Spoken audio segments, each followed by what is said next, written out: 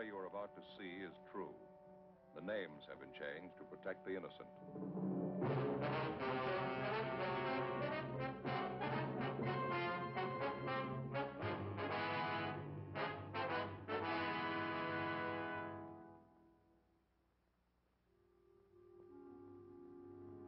This is the city. Four million people. There's something for everybody. Houses to live in. Places to work. Places to relax. Churches to pray. Most of them enjoy life and they try to hold on to it. A few of them have lost their grip. In my job, I get to know them all. I'm a cop. It was Monday, August 12th. We were working the day watch out of Juvenile Division. My partner's Frank Smith. The boss is Captain Stein. My name's Friday. We'd gotten a call that a seven week old baby had been abandoned in a bus terminal. There was no sign of the mother, no lead to her whereabouts. We had to find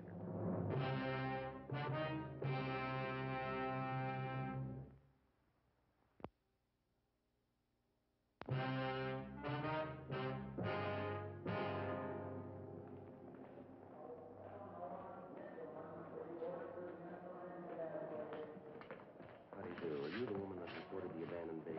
Yes, that's right.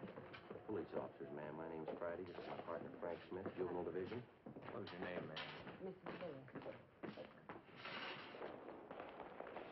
I'm certainly glad you're here. I've been waiting around the steeple for hours. I don't know what to do. That's a good baby. Why don't you go to sleep now? Come on, close your eyes and go to sleep. Oh, thing, it's a shame. Yes, ma'am. The report we got didn't go into details. Some woman left the baby with you, is that it? Yes, as soon as we got off the bus this morning. She said she'd only be gone a few minutes. It's been hours. I don't know what to do. Did you know the woman, Miss Lewis? Her name's Dorothy Miller. She's from Arizona. Tucson. We got off the bus, and she asked me if I'd hold her baby while she went to get her luggage.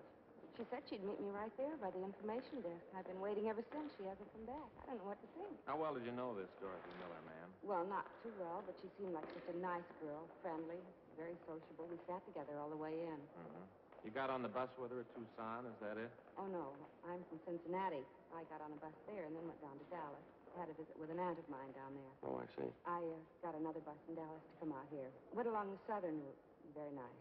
The same bus I came in on this morning. I'm out here to meet my husband, Army man. He's coming in on a transport from overseas. He's coming in tomorrow. Mm-hmm.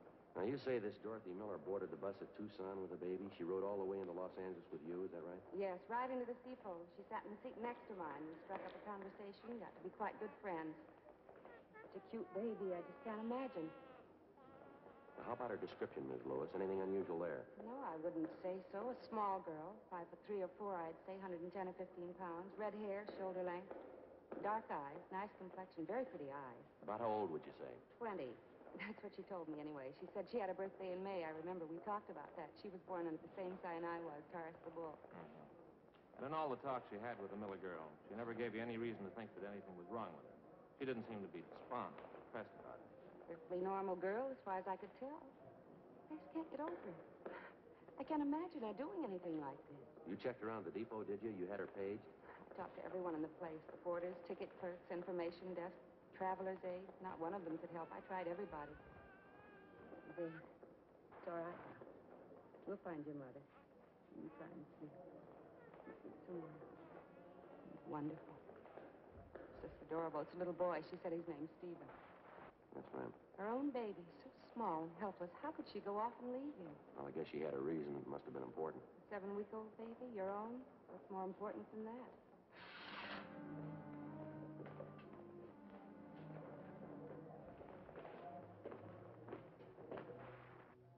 Before we left the bus depot, Frank contacted the clerk at the depot information desk and left our card with him.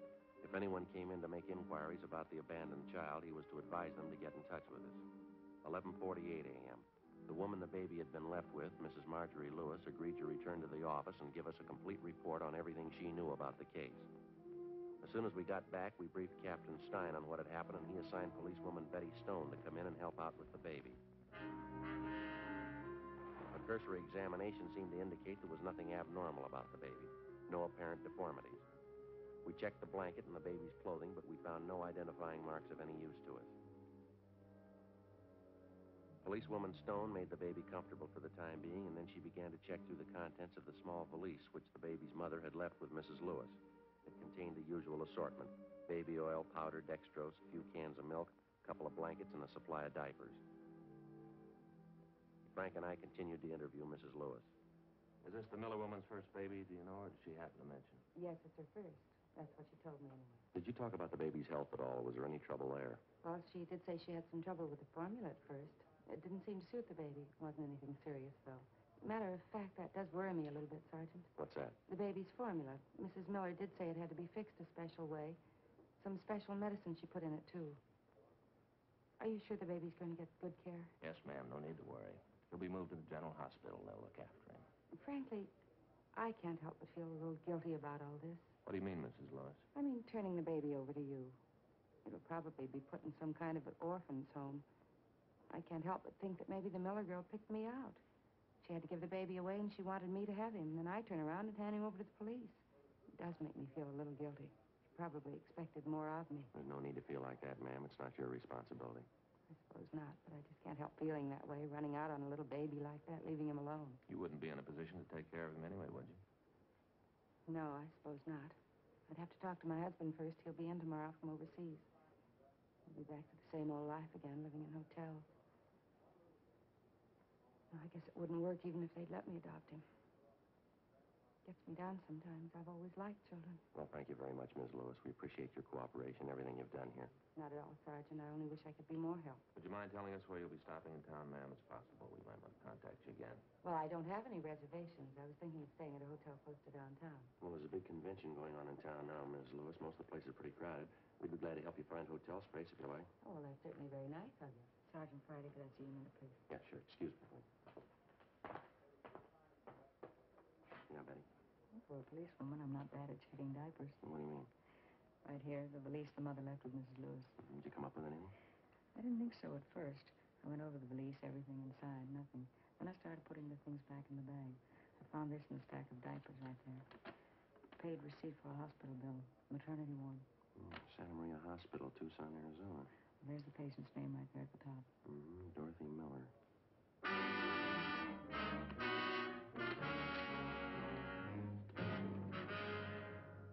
Twelve thirty p.m. A local broadcast and an APB were gotten out on Dorothy Miller. Then we sent a communication to the Tucson Police Department laying out the story for them and asking them to check with the Santa Maria Hospital there for a possible lead on the missing mother. Meantime, the baby was removed to the general hospital. We found accommodations for Mrs. Lewis in a downtown hotel. We dropped her off there, and then we drove back to the bus depot on 6th Street. We tried to locate the driver of the bus on which the Miller woman and her baby had arrived that morning. We were told he was off duty and that he wouldn't report back in until 8 o'clock the following morning. We left our card along with a message for the driver asking him to contact us as soon as he returned.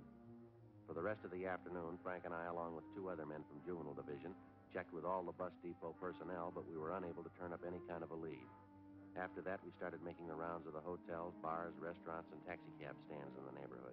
The same results, nothing.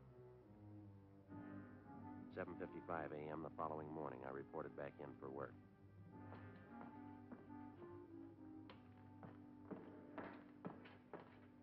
Morning, Joe. Oh, hi, Betty. Frank check in yet? Yeah, I went out for a minute. Said he'd be right back. What do you know? Anything new? Communication for you from the Tucson PD. Kickback on that query you got off to them yesterday. Mm-hmm. You see this? Yeah, confirms the fact the woman had her baby in that hospital. Still not much help, though. Yeah, I see. They checked out her last known address in Tucson. She moved. No forwarding address, no line on her friends or relatives. Well, the day the baby was born seems to check out. Yeah, June 24th. Makes the baby just about seven weeks old. This part doesn't make much sense, though. The Miller girl's description? Yeah, Ms. Lewis said Dorothy Miller was small and dark. Long red hair, dark eyes. People at the hospital describe her as being fairly tall. Blue eyes, short brown hair, about 29 or 30 years old. Mrs. Lewis said the Miller girl just turned 20, didn't she? Yeah. Sure doesn't figure, does it? A little too much to write off as coincidence. Two Dorothy Millers having babies, same day, same hospital. I just happened to think. This description of the Miller girl. Uh-huh. Fairly tall, short brown hair. Ms. Lewis has short brown hair, hasn't she? Hi, Joe. Morning, Frank. You know that bus driver we wanted to talk to, the one that drove the bus that Dorothy Miller and the baby came in on yesterday? Yeah. Well, he came up to see us. He's in the next room. I've been talking to him. Mm-hmm. You saw this answer from Tucson. Yeah. I think we got the tie-in. How's that? That description Mrs. Lewis gave us of Dorothy Miller. The driver doesn't remember anyone like that on his bus. He remembered Mrs. Lewis, though. She didn't get on the bus at Dallas. She didn't sit next to a young girl with a baby either. Driver says he's sure of it. Well, and what's the pitch? Mrs. Lewis got on the bus at Tucson. She had a baby in her arms.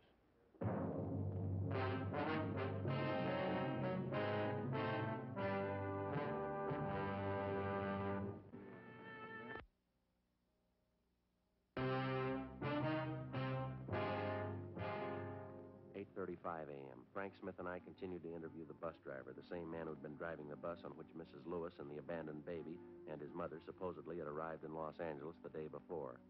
The more we talked to the driver, the more he convinced us that the story we'd gotten from Mrs. Marjorie Lewis was a long way from the truth. He repeated that he was absolutely sure that Mrs. Lewis did not get on the bus at Dallas, that she boarded the bus at Tucson, and at the time she got on, she was holding a baby in her arms. He was just as positive that Mrs. Lewis held the baby in her arms all the way into Los Angeles, and that she did not sit next to a young red haired girl, but an elderly woman. He also told us that none of his passengers on that particular trip fitted the description of Dorothy Miller as given us by Mrs. Lewis. 8.50 a.m. Before the bus driver left, we got his address and a phone number where we could get in touch with him if necessary. 9.05 a.m. Frank and I got in the car, drove to the downtown hotel where Mrs. Lewis was staying. She told us that her husband, Army Captain Walter Lewis, had arrived in from overseas earlier that morning and checked in at the hotel, that he was downstairs in the hotel barber shop. That's quite a parade they're having down there. Yes, ma'am. How's the baby? Are they taking care of him? Is he all right? Yes, ma'am. We checked with the hospital. He's doing fine. Oh, I'm glad. And the Miller girl, Dorothy Miller, did you find out anything? We haven't been able to locate her. No trace of her at all. That's why we're here, Mrs. Lewis. There are a few things we'd like to have you straighten out for us. Well, I'll be glad to do anything I can to help. I think I already told you everything I know about the girl. We'll be honest with you, Ms. Lewis. We don't think you're telling us the truth. What? I don't understand. We talked to the man who was driving the bus she came in on yesterday, the same bus you say Dorothy Miller and her baby were on. Yes, that's right. Well, the bus driver couldn't remember the Miller girl, told us none of his passengers even came close to her description. Well, there were quite a few people on the bus. I guess you can't blame him for not remembering her. He remembered you, Mrs. Lewis. You were sitting near the front of the bus. He doesn't remember anyone with a baby sitting next to you, though. I guess he made a mistake. He can't remember everything. He said you were holding the baby. I don't understand this. What is it you're trying to find out? When we talked to you yesterday, you told us that you got on the bus at Dallas, isn't that right? Yes, what would that have to do with it? Well, the bus driver says you got on at Tucson. He seemed to remember it pretty well. Says when you got on the bus, you were holding a baby in your arms. Oh, that's silly. He's wrong. He must have me confused with somebody else. I don't see how, ma'am. He says you were the only woman on the bus with a baby. What's the point of this, Sergeant? I don't understand any of this. Well, now, frankly, Ms. Lewis, neither do we. I don't know why you're lying to us about this, but apparently you are. You're wrong. I'm not lying. It happened just the way I told you. The girl gave me the baby to hold, and then she disappeared. There's no reason for me to lie about that. We found a receipt for a hospital bill in that valise with the baby's things in it. The receipt was made out to Dorothy Miller. Well, that proves it, doesn't it? She was on the bus with me, and her baby was with her. Check was made with a hospital at Tucson. They remembered the name Dorothy Miller. She gave birth to a baby boy about seven weeks ago. She wasn't the same girl you described to us. Description wasn't even close. Then it must be a mistake. I guess somebody made a mistake. I can't understand any of this. They sent us back a description of the Dorothy Miller who stayed at the hospital. Fairly tall woman, short brown hair, about 29 or 30. Yes? Description fits you, Mrs. Lewis. Fits almost perfectly. It's wrong. It has to be wrong. The whole thing's a mistake. No, I don't think so, ma'am. Why don't you tell me? What do you think? Tell me, please. Well, there is no Dorothy Miller. There never was. There's no such person. That's what you really think. I invented it? I made it all up? Did you?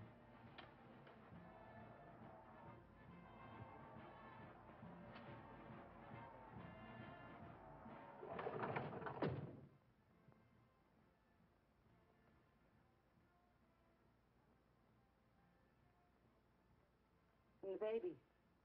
What about him? If there's no Dorothy Miller, what about the baby? I don't know.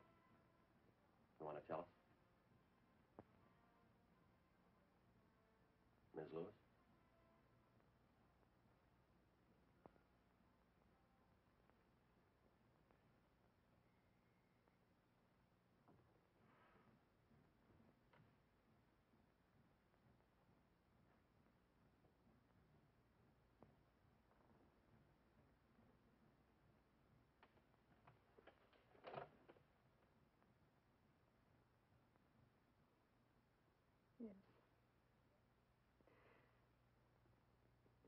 Yes. Mrs. Lewis, anything we can do? Thank you. I'm all right. I suppose I knew it would happen sometime. I tried not to think about it. Yeah? I knew you'd found out. That's why you asked if my husband was with me, isn't it? You didn't want to embarrass me. I wanted to give you a chance to tell your side of the story. We thought maybe you wanted to keep it from your husband. Oh, it doesn't matter. I'll tell him. He'll be back in a few minutes. He can do anything he wants, and I won't blame him. He'll pack his bag and walk out and leave, and I won't blame him. Nobody will blame him. You want to tell us about it? I think you know. It's my baby. My own baby, and I couldn't keep him. There wasn't anything else to do. Nothing. My own baby. You made up the whole story about the girl, Dorothy Miller. Her leaving the baby with you. Mrs. Lewis? Well, now, you must have had a reason for it, Mrs. Lewis. Giving your baby away. You want to tell us about it?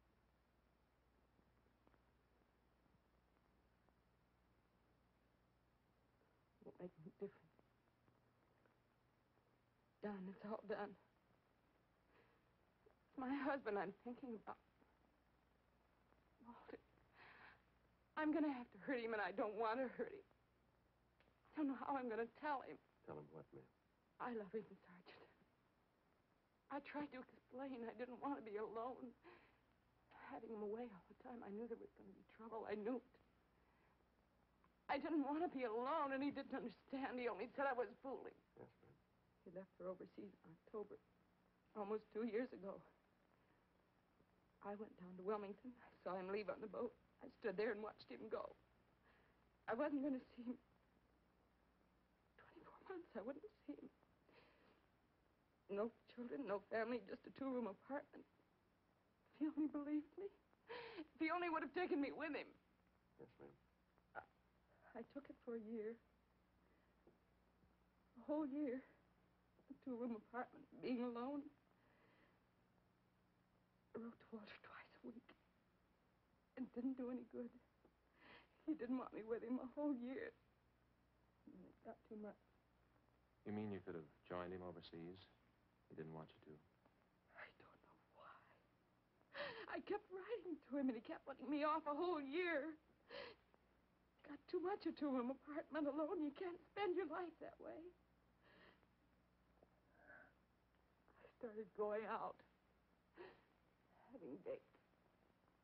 I had to get out. I started going to parties. Different people.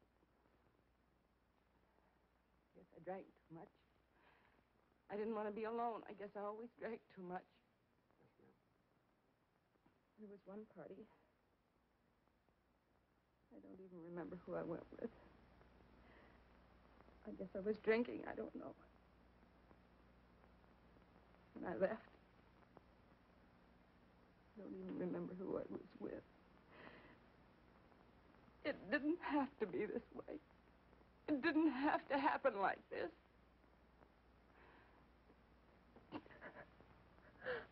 Are you all right, Mrs. Lewis? There's something we can get for you? No, I'm all right. I didn't know what to do when I found out. I saw the doctor. He didn't understand it either. I mean, the way I felt.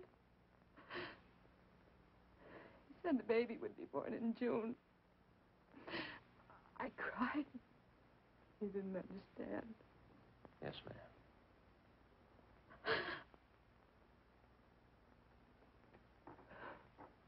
When the time came, I went to Tucson, Arizona. They had my baby. At least I wasn't alone. I used different name at the hospital. Dorothy Miller. Maybe it wasn't Walter's baby. But it was mine. It was mine.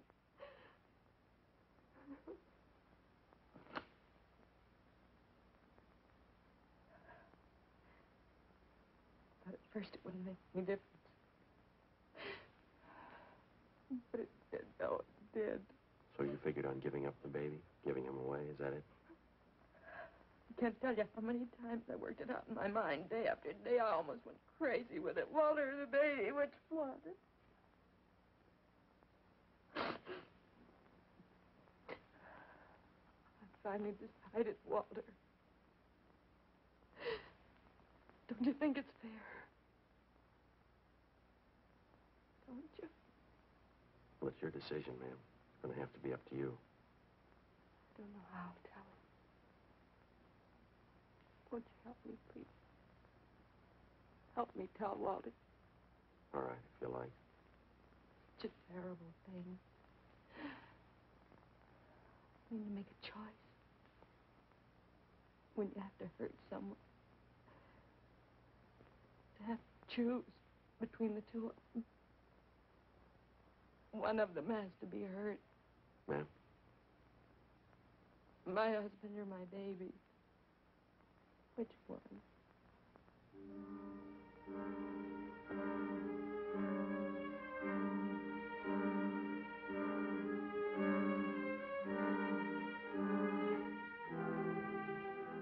Ten thirty-eight a.m. At Mrs. Lewis's request, Frank and I stayed on at the hotel room until her husband, Army Captain Walter Lewis, returned. He was a tall man in his late thirties, dark eyes, tan complexion. Mrs. Lewis was waiting in the adjoining room. It wasn't easy, but as best we could, Frank and I briefed the husband on what had happened. His first reaction was fairly normal. He took it pretty hard. We kept on talking to him. After a while, he calmed down. We laid out the whole story for him again. Are you sure it was my wife? Yes, sir.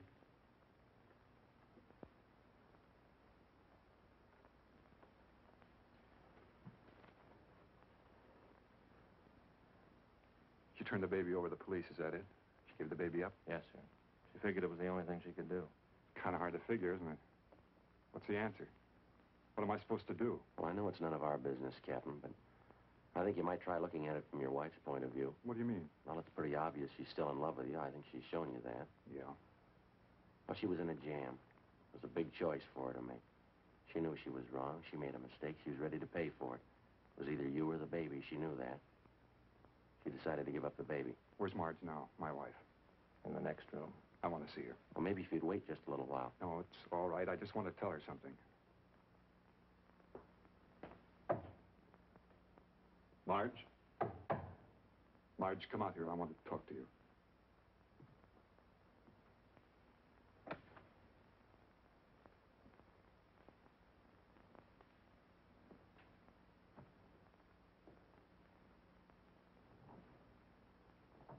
Can I say, Walter? I'm sorry. I'm sorry. There isn't anything else I can say. You don't have to say anything, Marge. You can do what you want. I won't blame you. You've got a right to do anything. I just want to tell you, Walter. I love you, and I'm sorry. I'm sorry. I won't blame you. Anything you do, I won't blame you.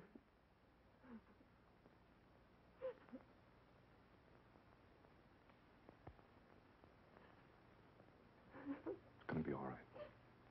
Nothing to cry about here. Everything will be all right.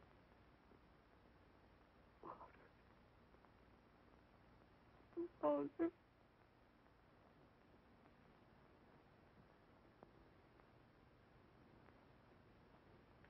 take it easy, dear. It was a mistake. I made my share. It'll all work out.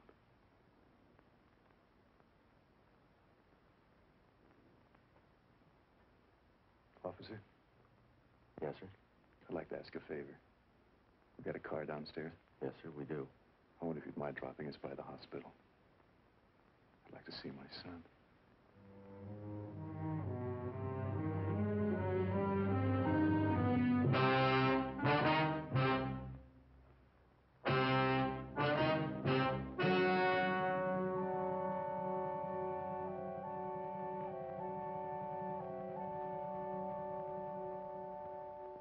On August 15th, a meeting was held in the District Attorney's Office, City and County of Los Angeles, State of California.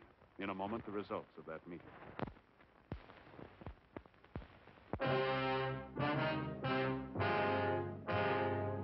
In the interests of justice, it was decided that no criminal complaint be filed against the suspect.